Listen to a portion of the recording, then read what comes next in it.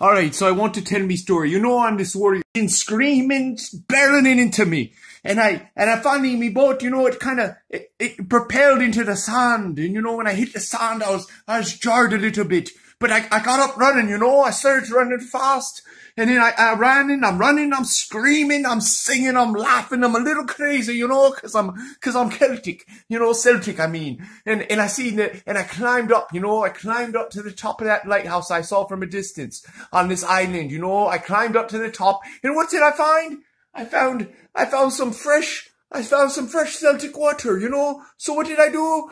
I, I, did anything like any fresh, you know, good Celtic lad would do. I took a drink and I took the whole barrel and I took it downstairs with me. And if you like my story, go ahead and subscribe, please, you know, because I love you all and I can't give you all a big hug unless you subscribe. I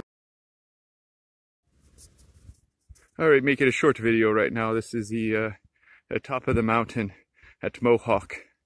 It's very, uh, this is the tower in front of the little pond there. But uh, I'll show another one maybe later of the top looking down, a very scenic.